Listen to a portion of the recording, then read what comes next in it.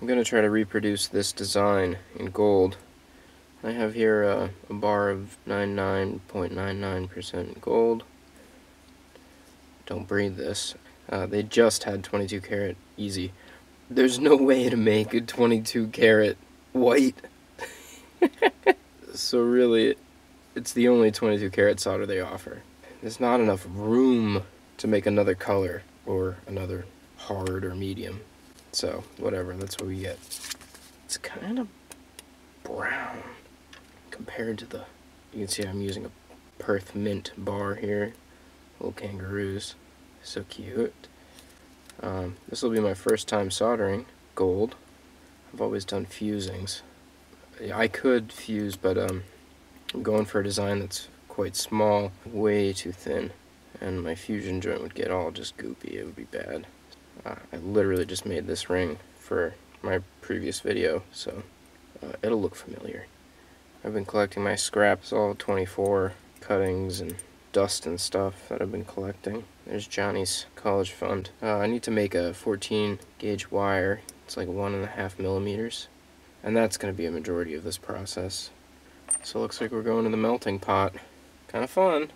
Here's my gold charcoal block. As you can see, I've gotten some use out of it going right in with the water. Based on my calculations, I need about 3 grams of gold.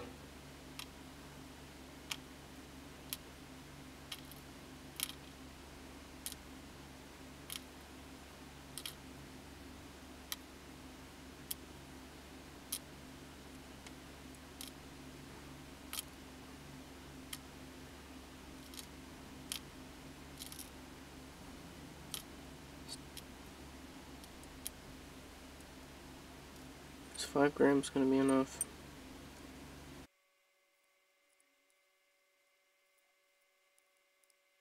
Right for the good stuff.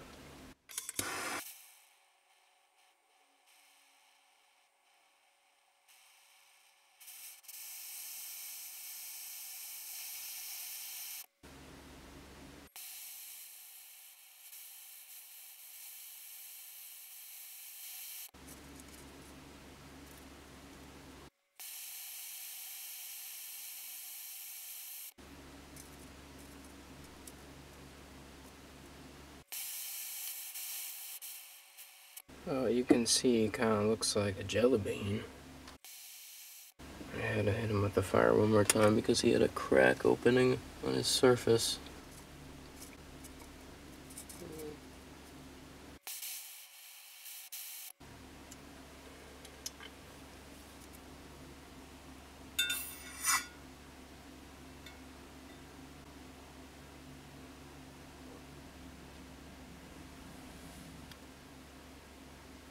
You can see he's got a little eggshell on. Looks good. Looks like a little jelly bean. Cute. Alright, the next important step is make it into a rectangle. I'm going to use some of these to hold it. Parallel chain grips.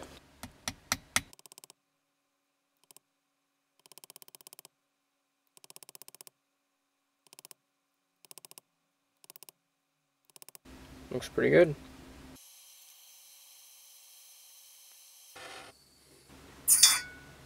So after thoroughly drying it with my sweatshirt, I'm going to throw it through the rolling mill.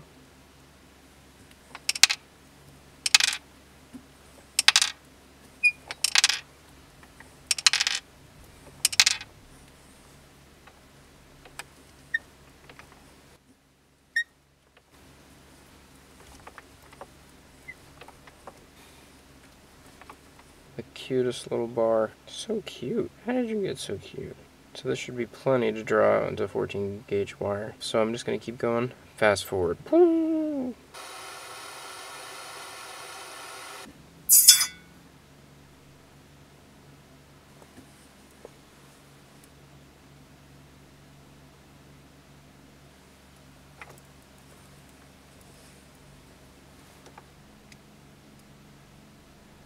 I need to start putting this through the pulling block instead of the smoosher. This is like the fifth time, maybe.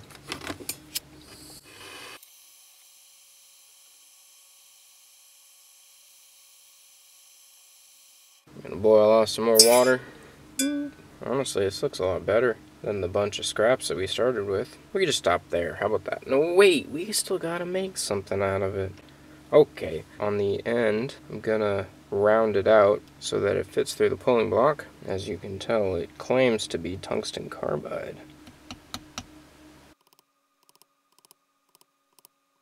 This tip's more like an octagon now. See that? That's gonna help us pull through the plate. Now we got enough to pull. Perfect. You just hold it down with your foot on the chair. Perfect.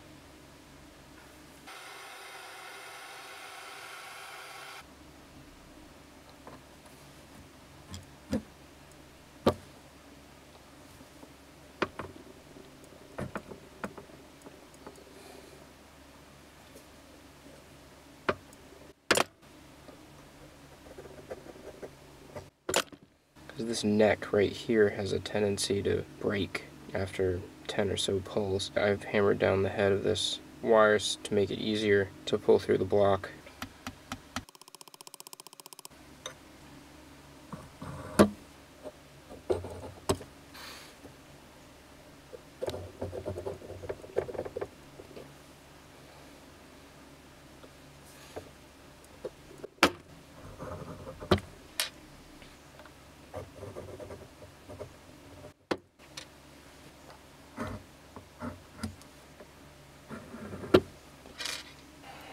Five point oh six grams, one point six five.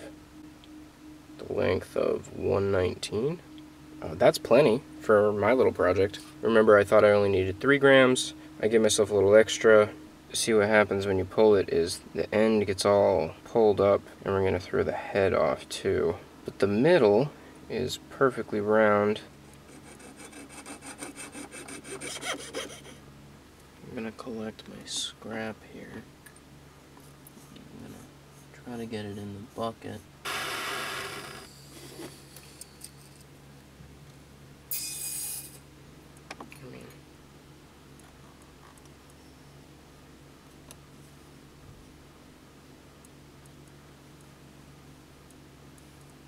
Just gonna squeeze this down from the tight coil about a five.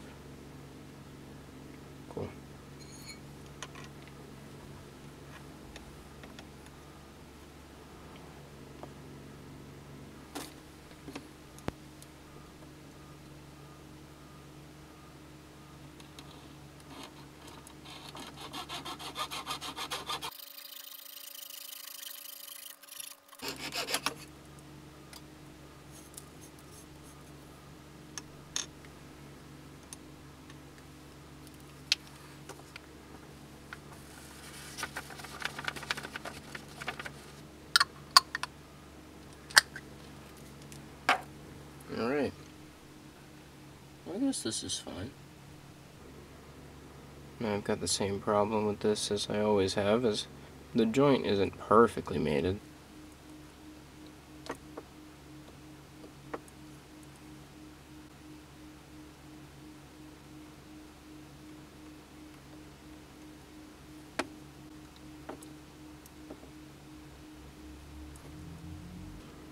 kind of crush the uh, ends of the joint there and just to see if they would compress together. And I think that's fine. Uh, so now I'm going to go and solder it up. I usually do my gold on the charcoal block, but because I'm not fusing this, I'm going to solder it. There's really no need to use it on the charcoal block. I can float it in the air.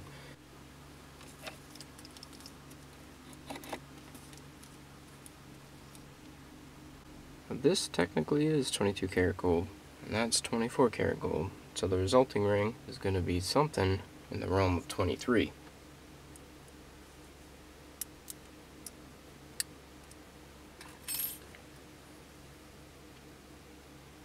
Don't feel the need to use flux because gold doesn't oxidize, gold doesn't oxidize, and I'm stupid. So wish me luck. I'm gonna try this with butane because it's so small but I might have to work my way up to some propane.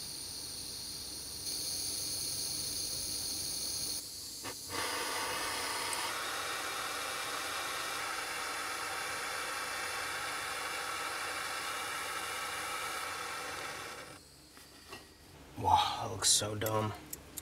That looks so bad. It looks like it's soldered though. I'm gonna go with the titanium in the third hand holding the gold ring.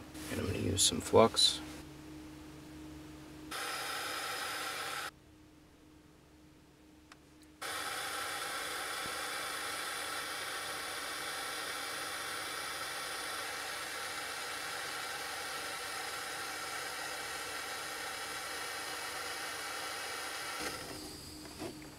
Well, y'all, I hate working with gold.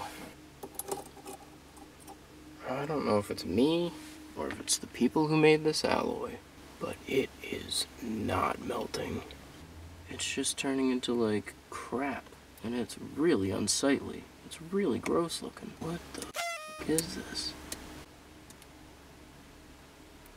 I don't understand how it could be getting so gross. It's together. I guess I'll grind it down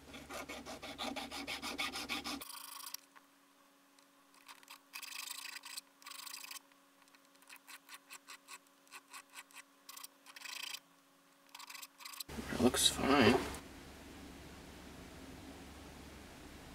I've got to give it to him. It's together and it didn't fuse, so I guess it did its job. The patina on the outside was disgusting.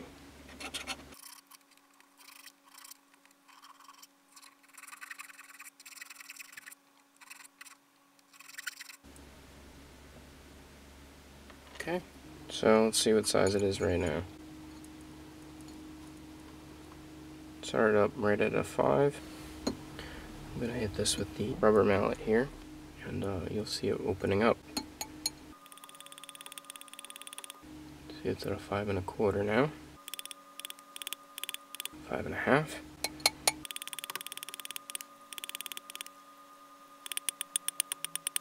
Five seven five. Just below a six. That's where I'm to stop. I'm definitely going to need to learn the tendencies of this solder, as with anything. Now I'm going to burnish this.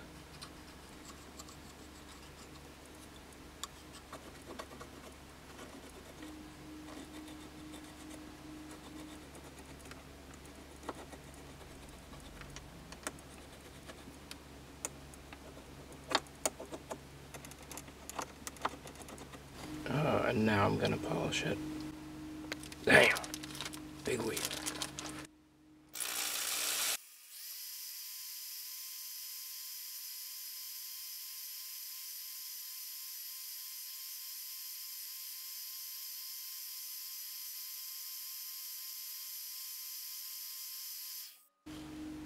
Damn.